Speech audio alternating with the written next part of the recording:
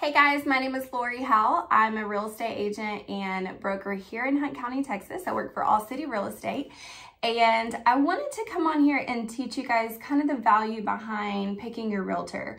A lot of people will interview realtors if they don't already have someone that has been referred to them that they just know and trust. Um, so here's the types of things that you should be looking for if you're interviewing a realtor.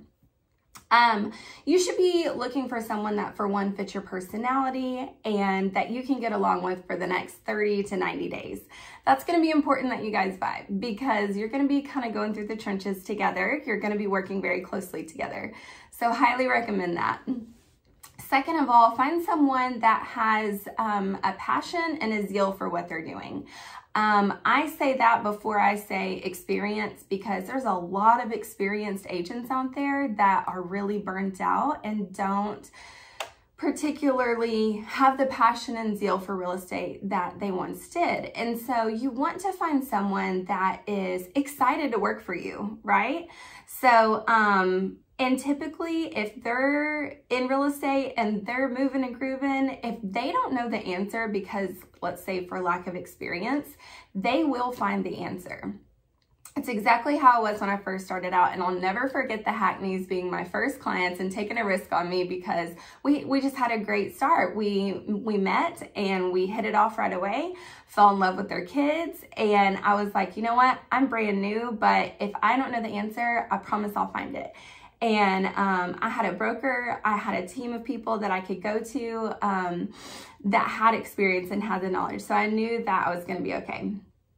Um, I guess thirdly, I would say, you know, experience does come into play. Uh, it is really important for your realtor to be the type of person that's doing this full time, that is able to take a call or respond to your email or text or an emergency situation at any time during the day.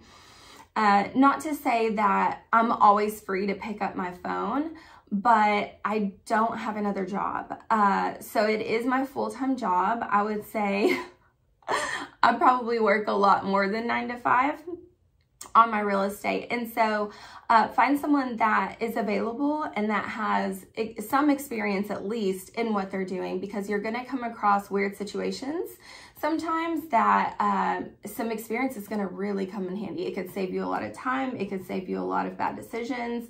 Uh, when you start running into offers that have contingencies or offers that are FHA or VA, uh, you're, you as the seller, you may have questions about, okay, what is that? How is that different than a conventional offer? And an experienced agent is going to be able to tell you the differences between the two.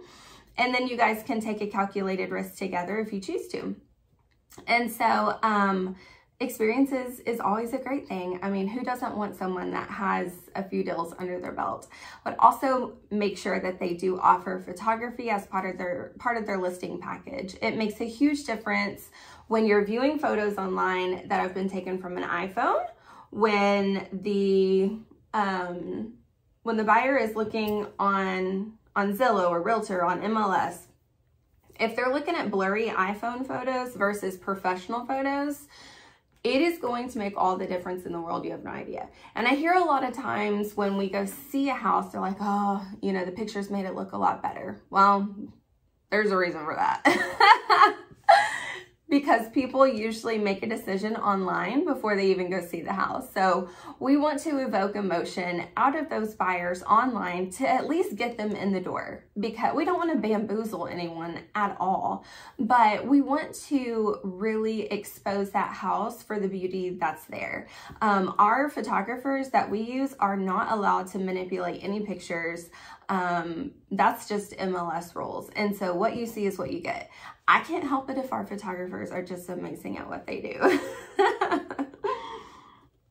but, you know, buyers, they buy online first. We're, we're kind of in that virtual world. And so uh, it's very important that we portray your, your property at, in the best light possible online from the get-go to get people in the door. Um, and Another thing that I do is I take it one step further and I prepare as much documentation up front as I can to put on the MLS. it's probably a little bit annoying to a seller. Just like a loan officer is going to gather docs in the beginning from a buyer, I do the same thing with my sellers. I gather a lot of information up front.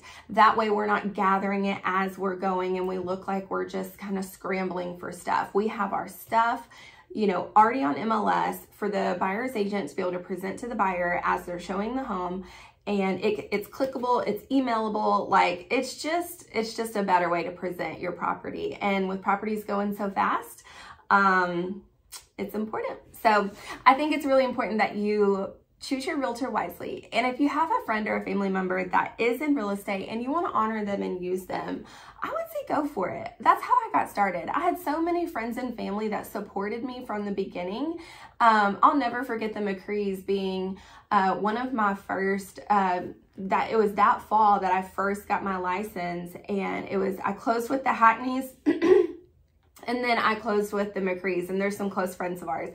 And they could have chosen another experienced realtor in the area. I'm sure they knew other realtors and they chose me and it just meant so much to me and it made me want to like perform. Like it made me want to be like, I want to get you guys like more than you want for your house. I want to make sure you get a good deal on the house that you're purchasing.